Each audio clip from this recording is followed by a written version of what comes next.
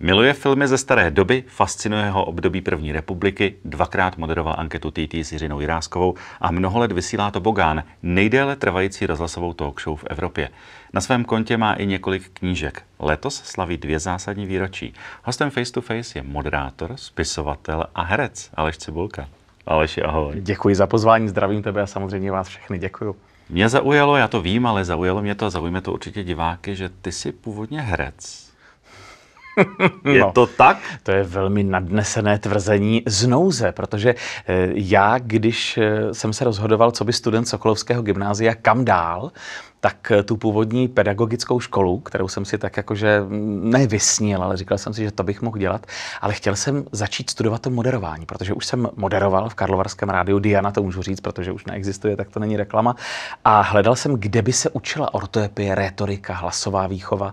Ne, tak původně jsem si dal přihlášku na DAMu, na hmm. alternativní divadlo, kde tohle to všechno bylo dobré si mě představit na alternativním ano, divadle, ale dozvěděl jsem se od jedné kamarádky z Karlovarského rádia, že studuje v Praze nebo že se přihlásila na soukromou hereckou školu, kde se učí i moderování. Hmm. A to mě okouzlilo, tam jsem se přihlásil, eh, takže ten první ročník, eh, tak tam byla třeba jenom Tereska Kostková, Marek Epstein a mnozí další. My jsme byli tím druhým ročníkem mm, v roce 92, když jsem tam přicházel.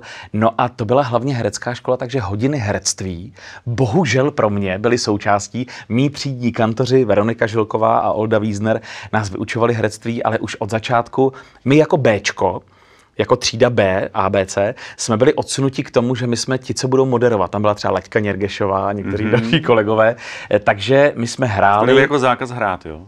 To ne, my jsme hráli eh, stejně jako ti ostatní, ale asi jsme všichni věděli, že to herectví asi nebude to hlavní. Tak třeba zrovna konkrétně Laďka, tak ta se věnuje divadlu, samozřejmě i filmu, ale bavilo mě to, eh, jak to divadlo, tak potom třeba pár roliček, které jsem měl, ale když zjistíš, že v tom nejsi dobrý. Hmm. A vidíš kolem sebe ty úžasný hráče, jak jim to jde, tak si říkám, tak jako občas si k tomu jenom přičuchnout, ale živit bych se tím asi nechtěl. Kdyby člověk hodně chtěl, tak to asi dělá, ale ta představa, že jsem v tom špatný a že mě trpí jenom proto, že obcházím ty castingy, to by mě asi trošku lezlo na, na nervy. Ale ano, vystudoval jsem to, jsem diplomovaný herec, specialista, eh, daber, stepář, já nevím, co všechno jsme tam měli. Takže dneska už na herecký castingy na role nechodíš. A kdyby přišla nějaká nabídka? No, když přijde, tak ji rád vezmu. Eh, a můžu říct, že třeba když by se spodílel do mé filmografie, tak jsem točil s panem režisérem Strachem, s panem režisérem Smyčkem, eh, s panem režisérem Bočanem. Eh, jo, jako je to, hmm. kdybych byl herec, tak se mám čím chlubit a vždycky, když se mi ozve někdo z produkce, tak řekne, ona je tam taková rolička v tom seriálu, který točí pan Smyček třeba. A ta hlavní hrdinka, to byla třeba dobrá čtvrť, nafotila kalendář a je tam taková akce, kdy takový moderátor, ten kalendář, já hraju moderátory, takže vždycky a dokonce tam tam v titulcích byla role, jméno té role bylo Aleš Cibulka, hrál Aleš Cibulka. A to mi jde, když hraju sám sebe. Ale občas, protože mám třeba spolužačku Veroniku, která dělá castingy eh, do všech takových těch seriálů, jako je Zo, jako jsou Krejzovi a tyhle ty věci, tak máme takovou úmluvu, že vždycky ve všech mi dá z toho starého dobrého kamarádství jeden natáčecí den, jeden nebo dva obrazy. Takže když se podíváš na tu moji filmografii, když to tam zaznamenávají, já jsem ve všech hrál. Jsi všude. Já jsem všude byl. Byl to jeden obraz, jeden natáčecí den, ale všude. E, já e, to beru jako příjemný zpestření, ale je teda pravda, a teď se mě zeptal, kdyby se ozvali opravdu jako s nějakou větší rolí nebo s něčím. Hollywood nepotřebuju. Já bych šel kamkoliv, jako mě by bavila ulice nebo jako cokoliv, tak do toho bych šel. Jako příjemný zpestření. Jako herec asi nic moc, ale zase, když vidím, kdo dneska hraje, to bych dal taky. Ty letos máš dvě výročí. To si řekl v úvodu, to mě zajímá, jak. No tak eh, půlku latiny, že jo? No tak jasně, no ano. A pak 30 let, kdy jsi začal působit v médiích. Rok 92. No to je vlastně pravda, jak to víš? No. Jo, pozor, ale to je teď velká móda, jak ty zpěvačky tají, že jim 75 a mají 30 let na scéně, 50 to let na scéně. když je jim potom třeba některým, obzvlášť herečkám 70, ale oni to nemůžou oslavit. Oni si ubírají 2-3 roky, takže vlastně Víš? Ale, ale je pravda, že taky to 50 let na scéně, to, to dělávala Evička Pilarová, že jo? No, no. 50 let na scéně, 55 let na scéně.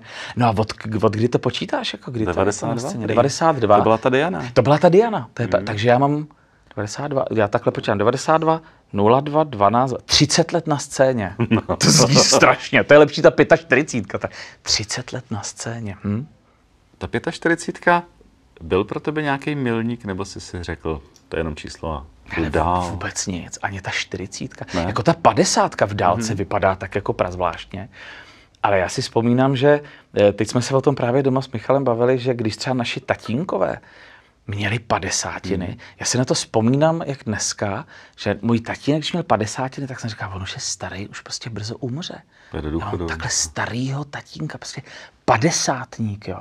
A teď najednou padesátníci jsou, jsou vrstevníci. V nejlepších letech. No. no jistě. A já jsem zjistil, že mezi náma padesátníkama ve chvíli, když už se oslovím kluci, já jsem to nenáviděl jako dítě. Když moje maminka říkala druhý babě, který byl 65, říkají si mladá paní, jako jo. Tak teď najdu eh, ty kamarádky, eh, který jsou jenom o trošičku starší, Ivanka Andrlová, Hanka Křížka, to jsou šedesátky. Ano. Ve chvíli, kdy připravuješ Petrianu sedmdesátiny, eh, Helence Vondráčkovi je 75 a všichni ty mladí kluci, jako je Jirka Krampola, tak jsou osmdesátníci, nebo jim bude 85. Ano. Říkáš, to není možný. No skvělá holka Jiřinka Bohdelová, že No tak to už je, to už je, to už je úkaz sám pro sebe, pan Suchý. A najednou vidíš a říkáš si, těch 90 je vlastně hezký, aktivní věk. Můj dědeček vždycky říkal, což bylo krásný, říkal, nejhorší nebo nejsložitější je dožít se 80. Protože po 80 už umírá strašně málo lidí. A to se mi vždycky líbilo, ale to, to je pravda, tak daleko. Je to pravda, no. no. Ty jsi uh, za celou dobu svého působení vlastně nezměnil nic uh, zásadního, protože pořád máš rád první republiku, mm-hmm. pořád se vracíš v té době, miluješ uh, lidi té doby. Napsal si několik knížek. Kdy jsi si vlastně znovu objevil Zdenku Sulanovou? Co tě na tom fascinuje? Protože, co si budeme povídat, já už jsem tady nějakým hostovi říkal, ta první republika byla krásná, ale na pohled. Jinak byla komplikovaná a jinak, co si budeme povídat, sex, drogy, alkohol mm. a, a tak dále, a tak dále, to fungovalo, že akorát se to trochu zakrylo tou rouškou té krásné doby. No, jsou to limonády, samozřejmě. A nejenom eh, tohleto jedno hledisko, ale i to druhé hledisko, jakoby to eh, politický zákulisí a to, jak lidi žili. Oni malinko ty filmy pro pamětníky, jak je milují. No. Malinko nadělali škodu, protože hmm. dneska někdo řekne v nějakém rozhovoru, a nebo jenom si s někým povídáš, já bych chtěl žít za první republiky. To nechtěl. nechtěl bys ani omylem, hmm. ani omylem bych tam nechtěl být ani na chvilku.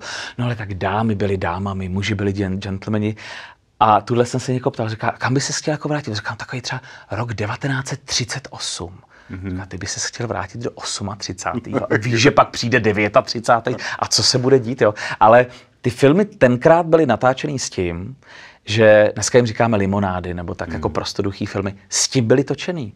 Já když jsem se bavil s Otakarem Vávrou, se Svatoplukem Brnešem, s panem Schránilem, ten to říkal krásně. Říká, my jsme neměli větší ambice. My jsme nechtěli natočit jako psychologické drama, kde hlavní hrdinka. To dneska každý, že? Dneska každý. Ale tenkrát ta doba byla tak průšvihová, byla válka, ty lidi měli někoho na frontě, někdo hmm. přišel o někoho v rodině a ty filmy byly opravdu jenom proto, aby diváci šli na 90 minut do biografu a tam se dívali na Mandlovou, Bárovou, Golovou, Ferbasovou, Štěpničkovou a chtěli vidět ten příběh, jak chudá dívka ke štěstí přišla. Ta přítelkyně pana ministra nakonec jako jí klofnul ten Oldřich Nový a dopadlo to dobře. Ten hotel Modrá hvězda. Kristián, jako jeden z nejoblíbenějších pamětnických filmů, měl premiéru, tuším 6. nebo 7. září 1939. V září 39 šli lidi na Kristiána a bavili se v biografech politicky, když si člověk uvědomí, co se dělo. Jo. Takže oni neměli větší ambice a navíc, což je fascinující, a to my si dneska neuvědomíme, oni vůbec netušili, že ty filmy se budou ještě někdy, jak se dneska říká, reprízovat. Hmm. I ten Otakar Vávra řekl, tenkrát se natočil film, měl premiéru v Praze, třeba v Lucerně, v dalších kinech a proto proběhl pouť republikou, která trvala měsíc, dva a nikdo nepočítal s tím, že, že ten film ještě někdy někdo uvidí.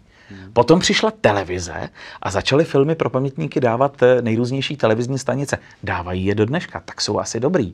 A potom něco, s čím oni nepočítali, a to jsou VHSky na mhm. začátku, mm-hmm. DVDčka. A dneska Potom už bylo, že vychází Hotel Modrá hvězda na Blu-ray digitálně remastrováno no, a je to dál a dál a dál a ty filmy pořád žijou. A nádherně tohle řekl Otakar Vávra a říká, kdyby my jsme věděli, že to bude někdo někdy ještě opakovat, tak se s tím víc pipláme. Tenkrát se točily filmy, to by dneska filmaři, 4-5 natáčecích dnů maximálně. Eh, kdo byl pro tebe takový nej z té doby, z těch herců? Tak pro mě samozřejmě zjevení Nataša Golová, jo. Protože tu já, když jsem objevil, to byla dáma, jejíž herectví bylo opravdu velmi civilní byla velmi vzdělaná eh, a mě ten její osud začal fascinovat a Neskončila úplně dobře, že Neskončila úplně dobře, ale vlastně kdo z nich skončil dobře? Vlastně ta kratinká kariéra, kterou oni zažili, většině z nich zkazila, zkazila život a navíc ta nálepka té prvorepublikové kapitalistické hvězdy, kterou měla celá řada z nich, eh, opravdu zkazila život. Co se týče soukromého života, tak tam se, tam se bohužel nezadařilo a třeba jenom ta její kariéra. Ona první velký film natočila v roce 39 poslední v roce 43. Mm-hmm. Ta celá kariéra, o které se mluví, v jejím případě, ostatní točili paní Ferbasová, paní Vítová, eh, Adina Mandlová, mnohem delší dobu, nebo mnohem delší dobu, od 32. do konce války. Nataša jenom od roku 39 do roku 43. Za čtyři roky ona natočila to všechno, na co my dneska vzpomínáme. To je neuvěřitelné. No. Já jsem říkal, že i Zdenka Sulanová, že jo, mm-hmm. Madla zpívá Evropě, tu si vlastně ty objevil a než jste dopsali knížku, tak ona zemřela mm-hmm. náhle. Jak, jak, jak, jaký to byl pocit? Bylo to zvláštní. Eh, vlastně to objevení bylo jen z toho důvodu, že, a ty si vlastně říkal v úvodu, že před 20 eh, lety Před 20 lety jsme s Jiřinkou Jiráskovou moderovali předávání cen TT a tenkrát pro mladší generaci to byl svátek všech televizí. Hmm. Nova i Prima uhnuli nějakým Bčkovým filmem, protože to bylo opravdu jako dostat TT. Ten přímý přenos, ten první náš přímý přenos sledoval bezmála 5 milionů lidí. Byl takový český Oscar. V tom roce 2003. To byl český Oscar, to bylo něco hmm. fascinujícího. A tenkrát jsme dávali dohromady s Jiřinkou Jiráskovou předávající, kteří vždycky měli být něčím zajímavý. A já jsem se dočetl, že tahle ta madla nebo Líza, Lízin let do nebe, Lízino štěstí pořád ještě žije v jeho českých cerhonicích. Našel jsem jí. Byla to dáma, která byla při síle, žila v naprostém ústraní, protože ona s tou kariérou skončila ještě před koncem války. Natočila opravdu slavné jenom tři filmy. Tři filmy, ale díky tomu, že byly opravdu nádherné, limonády se vším všudy, u nich národ plakal už tehdy a pláče dodnes, eh, tak předávala cenu TT tenkrát Jiřině Bohdalové. Hmm. A bylo to ještě fascinující v tom, že eh, Jiřina Bohdalová byla se s ní sešla ve filmu. Vlastně, to byla, eh, první byl Žižla a Pižla. No, jasně, ale ta Zase. Ale eh, vlastně Madla zpívá Evropě v roce 1940 byla první větší mluvená role Jiřiny Bohdalové. Takže oni se sešli po dlouhých, po dlouhých letech po tom roce 1940 a tahle ta eh, Líza eh, předávala Jiřině Bohdalové, která tam tenkrát byla jako malinkatá, malinkatá Jiřinka, taky tu cenu předávala. No. Jiřina Bohdalová je vlastně poslední žijící z tohohle filmu. Mm-hmm. A pak je poslední žijící herečkou z filmu Bílá paní, že jo? A už vlastně nikdo z těch herců nežije. No jo, to je pravda. Takže je to legenda. Legenda se vším všudy. A zrovna nedávno jsem na to myslel, protože jsme samozřejmě i v Toboganu připravovali její devadesátiny a udělali jsme toho opravdu celou řadu společně. A uvědomil jsem si jednu věc, jak mladý produkční, a teď to tak jako říkám, tak jako že holky i kluci, Eh, na ní nadávají, protože ona má, dá se říct, ne přehnané nároky, adekvátní nároky. Hmm. Jestliže taxík má být někde v 15.30, tak tam bude v 15.30 a tak dál, a tak dál, a tak dál. Prostě na tomhle si zakládá, je to ta v tom nejlepším slova smyslu stará škola, ale ty mladí mají pocit, jako že prudí, že furt jako hmm. něco chce nebo tohleto. Já říkám, děti, pracujete s paní Bohdalovou. Paní Bohdalová má u nás jako jedna z mála nárok mít ty hvězdní maníry a to nejsou hvězdní maníry, je to paní, který je 90. A je úžasný, že ve chvíli, kdy ona je na place, a ano, jako samozřejmě musí se toho spousta zařídit, vejít se jenom do jeho časového plánu, to by to nebudu vyprávět, ale ve chvíli, kdy je na té scéně, je před těma divákama, tak si říkám, stálo to za to, protože jo. prostě jenom jí sledovat po očku. Mimochodem, když si narazil na to TT, tak my jsme si v roce 2002 napsali s Jiřinkou Jiráskovou scénář. Tenkrát mě bylo opravdu 25 let, takže zjevení, jako najednou tyhle ty hvězdy vedle mě, to jsem měl oči na vrch hlavy. A Jiřinka Jirásková říkala, a víš, co teď uděláme s tím scénářem? Dám ho Bohdalce přečíst. A já jsem se cítil takový ponížený, protože jsem měl pocit, že jsme vytvořili něco geniálního. Co slovo to perla. Fakt jsem měl pocit, že jsem druhý Eben a teď to všem natřem, protože jsme po deseti letech střídali Marka Ebena. A říkal jsem, a proč jako paní Bohdalový? A on říká, no ona se na to koukne, ona má proto cit. vrátil se za několik dní scénář. A jak dneska to vidím, tuškou tam bylo seškrtáno, blbé, blbé, dobrý vtip, rozvést. A celý to bylo okomentovaný. A já jsem říkal, co nám baba bude hrabat do našeho geniálního scénáře. A Jiřinka Jirásková mi říká, hele, dej na ní, dej na ní, ona má pro tohle naprosto dokonalý cit, což dokázala i ve všech těch scénkách v televarietě, nemluvím o velkých filmech. A vzpomínám si, že jsem tam měl jeden takový vtip, na kterým jsem si velmi zakládal, protože my jsme ten přenos TT měli z kongresového centra, kde předtím bylo nějaký velký setkání politiků. A ten vtip se týkal toho, že eh, na židlích, kde tenkrát seděli ty politici, sedí teď ty herci, no nějaká úplná kravina. A seděl seděla takhle, já vím, že jsem seděl takhle, takhle byla Jiřinka Jirasková a takhle seděla ta Jiřina Bohdalová, která se samozřejmě vracela, protože cenu dostala znova. A koukala, jak jsme rozvíjeli ty vtipy a co jsme udělali s tím scénářem a blížili jsme se k tomu vtipu, který ona seškrtala, že to je úplná kravina, že to někdo nepochopí. A já jsem si říkal, já ti dám, ty, tady, ty lehnou smíchy tady všichni. A dostávali jsme se k tomu a já jsem řekl ten vtip a nic se, tam bylo ticho. Já jsem říkal, tak to asi zas tak dobrý nebylo. Jiřinka Jirásková okamžitě pokračovala dál, aby to zažehlila, nikdo si toho nevšiml. A já jsem tak jenom po očku mrknul na tu Jiřinku Bohdalovu a ona seděla a s takovým zadosti učiněním, to bylo jenom zvednutí v obočí děla, jako je to, já jsem ti to říkala, co to jako. Měl jsem na to, no, ty budeš, ty, ty mě budeš povídat. Zvítězila, mnohokrát jsem jí to připomněl, ale jako práce s ní je opravdu zápřah. Jako spolupracovat, když jsme moderovali s Hankou Macichovou, s Janou Štěpánkovou, pokud si vybereš někoho bezproblémového, tak je to okamžitě, máš scénář napsaný. Tohle je pilování každého jednoho slova, a když to přeženu, tak jako půl dne se řeší, jestli řekneme dobrý večer nebo hezký večer, nebo jak říkáš si, je to jedno. Ne. No a když jsme teda u té Jiřiny, tak dáme teda druhou Jiřinu, Jiráskovou, ano. protože Jiřina Jirásková byla svým způsobem velmi kontroverzní člověk. Mm-hmm. Někteří ji měli rádi, někteří ji neměli rádi.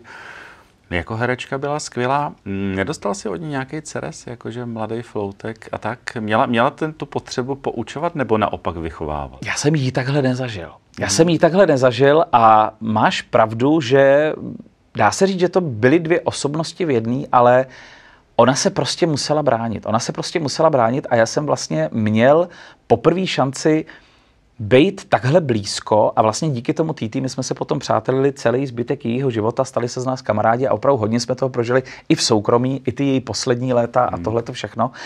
A ona prostě byla tak slavná, a to se týká opravdu těch nejslavnějších osobností. Eh, když eh, my jsme byli u ní doma, zkoušeli jsme divadlo, nebo jsme si jen tak povídali a zazvonil telefon a ona dovedla ten telefon zvednout a představit se, říká Jirásková, a řekla to tak mrazivým způsobem, že být na druhém konci toho telefonu, jak se zabiju.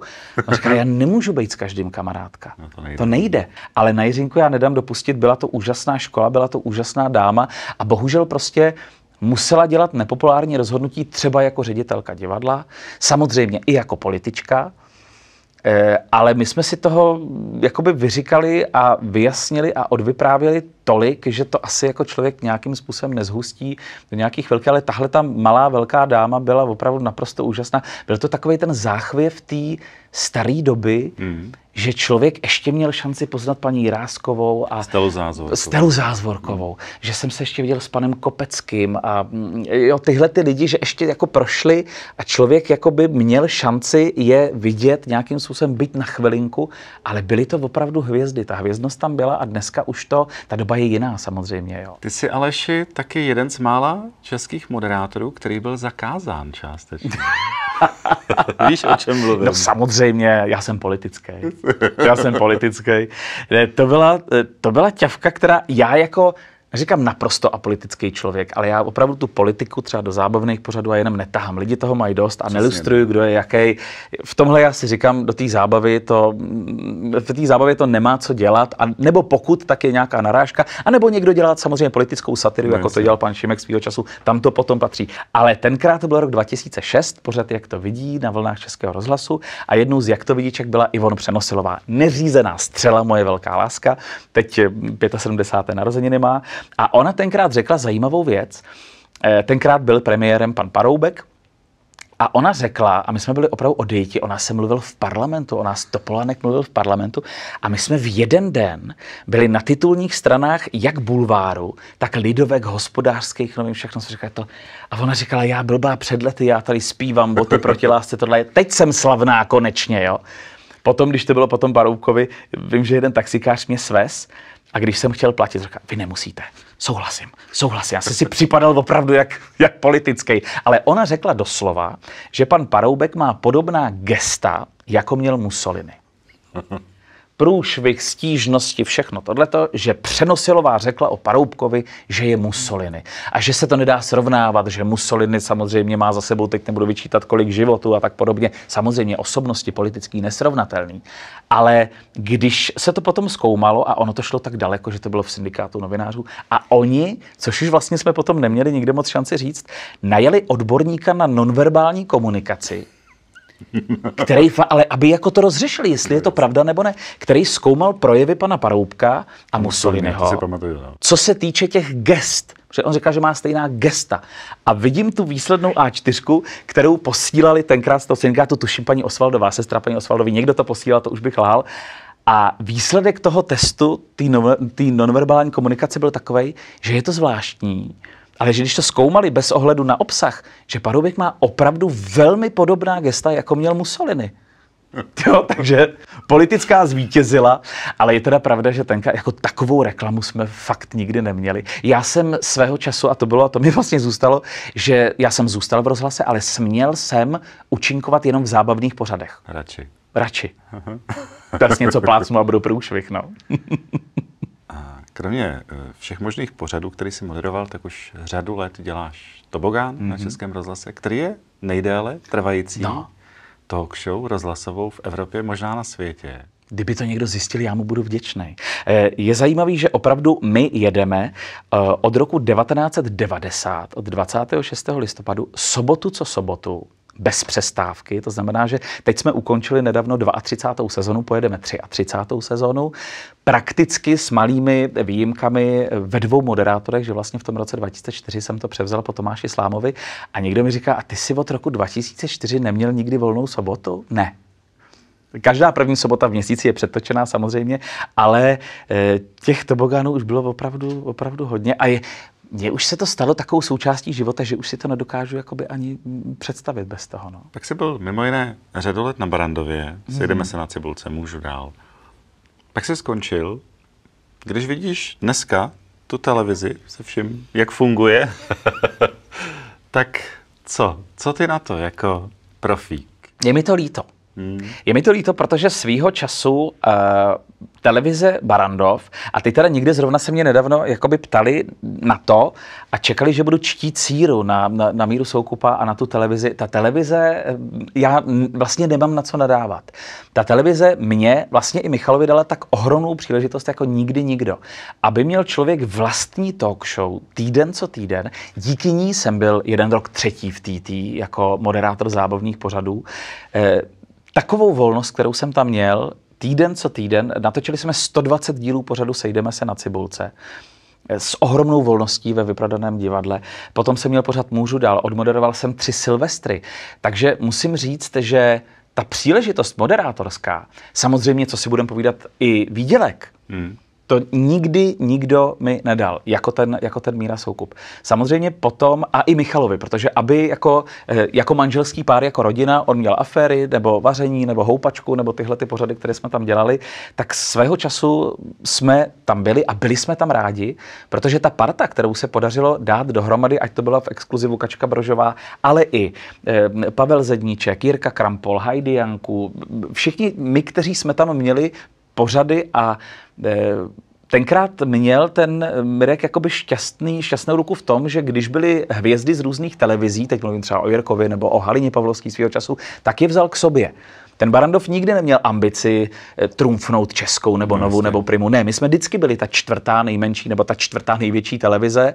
Ty sledovanosti se pohyb, pohybovaly jinde, ale to, že to byla rodinná televize Přesně. a že jsme nabízeli lidem to, co hmm. už velké televize neměli, zábavu, zábavní pořady, soutěžní pořady, videostop se tam vrátil s Honzou Rosákem a spousta dalších věcí a opravdu, já vím, že to zní blbě, ale fakt jsme byli rodina, která jsme se rádi viděli, když se točili nějaký Vánoce nebo cokoliv, že byla opravdu parta velmi příjemných lidí, eh, eh, kamarádů, který měli šanci tvořit, byť ve zrychlených podmínkách a taky sekalo se x dílu za sebou, jako na to jsme si na všechno zvykli. Ale potom prostě, bohužel, pan ředitel a majitel eh, dopřál sluchu jiných a mm, zalíbilo se mu na televizní obrazovce a tohle to všechno bylo smáznuto, tohle to všechno skončilo a je to strašná škoda, protože na ty sledovanosti, který ten Barandov měl a vlastně já si to doufnu říct, že ty lidi měli tu televizi rádi, ale nejenom diváci i kolegové umělci. Kolikrát za mnou přijdou a řeknou, že to bylo prýma, když jste tam měli, my nemáme kam chodit zpívat, zpěváci. Nejsou pořady, kam by si šel zaspívat. Jsou talk show, anebo potom nějaký velko, tvoje tvář má známý hlas, ale aby byla klasická estráda, Není, no. Bez toho handlivého slova smyslu, scénka, veselá historka, všechno. Ty lidi si fakt potřebují oddychnout. A jak jsem mluvil o těch filmech pro pamětníky, my jsme to nedělali, sejdeme se na cibulce, jsem e, netočil jako pořad do Zlatého fondu, ale aby se lidi opravdu v sobotu večer na hodinu a půl odfrkli a zasmáli se být třeba kravinkám nebo veselým historkám. E, takže já musím říct, že když se dneska člověk koukne na televizi Barandov, je mi strašně líto té proměrněné šance, nejenom za diváky, ale samozřejmě i za nás, který jsme tam dělali. A občas si sjedeme. A byly to opravdu, musím říct, jako hezký roky. Hezký roky. A do toho baráku a na ten Barandov člověk chodíval rád. S tou tvou přemírou práce souviselo jisté vyhoření. Mm-hmm. Jsi pak nějakou dobu vypadl z toho kolotoče. Byl jsi nemocný a loni tuším, ti vlastně nepřímo nebo přímo tvůj Michal, partner, zachránil život, protože si podstoupil operaci. Ano. Bylo to všechno způsobené tím stresem, tou přemírou eh, toho, toho, co vlastně si zažíval za celá ta léta, nebo? Eh, to vyhoření stoprocentně. Hmm. To vyhoření stoprocentně a musím říct, že jak by řekl Otakar Vávra, když jsem se ho na něco zeptal, říká, to vám nebudu vyprávět, je to v mé knize. Já jsem říkal, dědek jeden nepříjemný. Dneska, když někdo se ptá na vyhoření, říká, je to v mé knize, všechno jsem tam popsal. Ale eh, tenkrát v tom roce 2016, já jsem si opravdu sahnul na dno v tom smyslu, že to tělo opravdu varuje, varuje, varuje, varuje a když ten člověk e, jakoby neposlouchá, hmm. tak ono prostě vypne pojistky. Hmm. A je v tom geniální. To je prostě jako, aby se nezlikvidovalo, tak vypne pojistky. A to se tenkrát stalo a já jsem opravdu přijel domů vlakem ze svého rodného Chodova u Karlových varů a oznámil jsem domů Michale, říká, já jsem dostal úžasný nápad. Já dám všude výpověď. Teď to zní jako veselá historka nebo veselé, ale my jsme samozřejmě probrali, co se bude dít dál, co to přinese, koho tím můžu naštvat, jak se uživíme a podobné věci, ale v tom musím říct, že Michal tomu nepřestanu být nikdy vděčný, protože v tu chvíli vyhořelec to má jednoduchý. Ten si vyhoří, lehne si do rohu a skomírá. Vypne se a nazdar. Vypne se a nazdar. Hmm ten nejbližší člověk, ten to má složitý. Pokud jsou tam potom ještě děti samozřejmě tak podobně, tak je to ještě složitější. Ale tenkrát jsem to bral jakože, ne jako prohru, jako zklamání. My jsme prostě od malinka cepovaný v tom, že jedeme na ten výkon a nesmíme zklamat a máme ty samé jedničky a nosíme domů ty poháry. Takže když dneska někdo z rodičů přijde a říká, naše, naše květuška je třetí v tadyhle v gymnastice a má poháry, je Evropy a ona to strašně dělá moc ráda, ty závody, tak jsem říkal, tak povíme si za pár let, co řekne vyhořelá dcerka. Hm. Eh, takže tenhle ten tah na výkon je v nás zakořeněný nějakým způsobem, nevím proč. Ale když jsem se z toho dostal, tak tohle jsem si začal hlídat a ta loňská operace, ta s tím myslím, jakoby zas až tak eh, nesouvisela. To bylo, a to já jsem taky netošil, co to je, to byl akutní, akutní zánět divertiklu, ano, divertikulitida, do té doby já jsem o tom nevěděl vůbec nic. Mm. Až potom jsem se dozvěděl, že jsou třeba i kolegové, kteří tím trpí celoživotně, ty musí mít tu celoživotní dietu. Ale... Znamená, že se ti střevo přetočí? Nebo ne přetočí, nebo... ale ve střevě, ty já jsem na to odborník teďka, ve střevě se objeví taková jako výchlipka, taková jako slepá cestička a v ní se začnou ukládat takové věci jako voříšky, šlupičky a takový všechno. A to se zanítí. A jejda. A to je ten divertikl a zánět divertiklu je tohleto a musí to, bohužel někomu se ty divertikly tvoří celý život, to je potom průšvih a musí mít dietu. No a mě prostě pobolívalo břicho a najednou jsem eh, šel do úžasné vinohradské nemocnice, na kterou, nedám, na kterou nedám dopustit. No a pan doktor, když to viděl, rengen, CT, všechno tohleto, všechno tohleto samozřejmě proskoumali, jak to vypadá a řekli mi tak okamžitá operace. Já jsem říkal, no, to asi bude těžko. Já mám zítra tobogán, přímý přínos. Co si pamatuju, tak dneska 80. u nás slaví, víte, Marie Drahokoupilová herečka, přijde tam ten a říká, ne, jdete okamžitě pod kudlu, zaříďte si nejnutnější věci, eh, přerušujeme operační program a jdete okamžitě pod kudlu. A to už jsem jako viděl. A volal jsem Michalu, si říká, prostě přijeď sem, tady se všichni zbláznili. je, jak je člověk jako zblblej, tak si říká, to je nějaká skrytá kamera. To je přece musí jít nějak, kde člověk za několik dní na operaci nebo něco tohleto. A já jsem jim furt viděl, pak člověk začne smlouvat. Mm-hmm. A já jsem říkal, počkejte, já jenom teda zajedu do rádia, tam si to vyřídím. Zítra bych odmoderoval ten tobogán, víte, to je na Vinohradský, v poledne končím, v půl jedný zítra tady můžu být a mám až do úterka čas. To si se mnou dělejte, co chcete. A mě koukal, protože my si trošku nerozumíme. Jako, to je opravdu jako stav hraničící s ohrožením života. A člověk opravdu najednou zjistí, že nic není důležitý a že, že tě rozpářů má 24 stehů a najednou, najednou se ani neposadíš na posteli. To je ťavka, která prostě přijde a z ničeho nic. Dneska zdravotně v pohodě?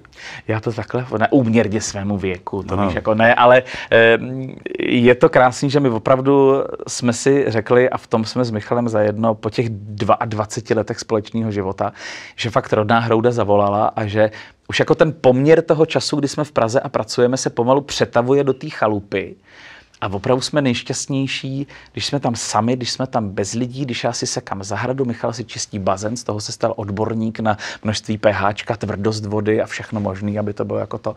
A tak si tam jako existujeme a když už nám chybí lidi, mm-hmm. tak se umejeme. Je to do města, jo? Jo, ale jako do toho, do hypermarketu, jedeme do galerie Harfa si sednout do kavárny uprostřed těch lidí, jako do toho, přímo do toho, ty tam chodí a za ty dvě hodiny už jsme z toho úplně vybzíkaný, říkáme a zpátky mimo civilizaci, jo. takže eh, je to fakt, že člověk se sklidňuje a dřív, když jsme říkali, mm, nebo když jsme se smáli těm, kteří si koupili chalupu a zmizeli tam, a tak jako jsme říkali, je Mejdan tohle, to on říká, hele, my jsme na chalupě, to jsme říkali, už jsou starý, už jsou starý. A říkali, hele, a když pak někdo přijel a vyprávěl o tom, jak kde co pěstuje a tohle. A my jsme tenkrát tvrdili, protože jsme opravdu byli králové večírků a e, jako nepřepije nás nikdo a co se týče jakoby zavíraček všech večírků, tak to bylo naše. To jsme mm-hmm. věděli, že jako to je ta konečná velmi brzy kránu a těch historek e, by bylo opravdu milion, by bylo opravdu milion, ale dneska, když přesně řeknu, a tenkrát jsme tvrdili, že opravdu páteční nebo sobotní večer, který není strávený v nějakém baru, Není. A druhý den tě no to neexistuje. A dneska, když nám někdo volal a říkal, hele, tak mám tady lísky na představení, jako tohle, toto. A říkal, máte velkou konkurenci. Říkal, a to máte nějaký lepší lístky někam? Říkal, máme. Západ slunce, tamhle je Vlhošť, nejvyšší hora Máchova kraje. Západ slunce nad Vlhoští, to je těžká konkurence. Ta představa, že to bylo udělování, to bylo udělování tálí v Národním divadle. Tak jsme tam seděli a říkali jsme si doma, říkal, táto, museli bychom se umejt v oblek si vzít, teď tam bude horko, teď tam budou ty lidi, teď jako to švitoření, taková ta nucená konverzace, no to, to, tohle to. A volali jsme, to byl ještě Jirka Hromada, prezident asociace, jsme říkali, Jiříko, my si vás pustíme v televizi tady, my budeme pokukovat z toho zápraží. Takže když potom vidíme ten hon některých našich mm-hmm. kolegů zatím, jako my jsme si všechno zkusili, jako eh, talk show vlastní si měl, Michal hrál v Národním, dabuje Capria, jako co ještě, víc u nás nedosáhneš, jako eh, ano, asi kdyby člověk do toho dupal víc a víc si potom šel, tak je asi slavnější, asi mám ten diář plnější a asi dělám reprezentačnější plesy než u nás v Chodově u Karlových varů. Ale jako proč, když vidíš některý ty... pak šťastný, že? Tak, hmm. některý ty lidi, kteří uh, jsou lidi, a není to špatně, kteří obětují svůj soukromý život na pědestal té profese a dají tomu všechno. Já to naprosto chápu a naprosto to jakoby neodsuzuju a uh, nebo chápu, nechápu to. Dneska už to nechápu. A člověk si říká, co byl schopný jako pro to udělat, jenom aby tady dostal roličku, tady udělal tohle. Hele, buď to, to přijde, nebo to nepřijde. Hmm. A co má být, to má být. Většinou stejně, a víš to i z vlastní zkušenosti, většina věcí, které přišly, byla náhodná. Že když člověk, čím víc tlačíš na pilu, tak tím méně to přijde. Přesně tak. Jo. No, každopádně ty budeš muset přijít znovu, protože no, to je na dvě, na tři hodiny, že jo? Ano, ano, ano. ano. Tvoje historky eh, neznají mezí. Takže užijte si léto. Ano. Na chalupě, předpokládám. No samozřejmě, samozřejmě. My teď máme devět týdnů úžasnou věc, říkáme tomu dovolená pět ku dvěma. Protože my moc nemáme rádi taky to, že má někdo 14 dní dovolenou, to se udovolenkuje k smrti, ano, že už se a, nudí, a pak zase až do Vánoc nic. Takže my máme každý léto pět dnů na chalupě, pak jedeme do Prahy a za ty dva dny uděláme všechno. Já, protože v, na Českém rozhlase na dvojice moderuju každý den blízká setkání, tak jedno odvysílám živě, jedno předtočím. Michal Nedělní koloteč Tobogany za ty dva dny to všechno napracujeme a vracíme se zpátky. Na těch pět dnů odpočívat, takže pět ku dvěma na devět týdnů ideální dovolená. Žádný moře, v kraj. Ale na Mácháči jsme ještě nebyli. tak ať to Není vyjde. čas. No hlavně, ať to vyjde, ať to vyjde ve zdraví. Děkuji, že jsi přišel a budeme se těšit příště. A pozdravuj doma. Vyřídím a moc děkuji za pozvání, protože musím říct, smí se tady dělat reklama. Já udělám reklamu, tohle je moje oblíbená talk show, protože když je moderátor, který se chytře ptá, to už dneska není moc k vidění, tak je to, tak je to radost. Hlavně jsem chtěl vidět, jak to tady vypadá a kouknout do kuchyně taky někomu, taky někomu jinému. Konkurenci, jak to, jak to dělají mladí. Tak děkuji. to říká náš dnešní host Aleš Cibulka. Líbil se vám tenhle rozhovor? Dejte mu like a přidejte komentář. A abyste nepřišli o další skvělé rozhovory, odebírejte náš kanál Face to Face.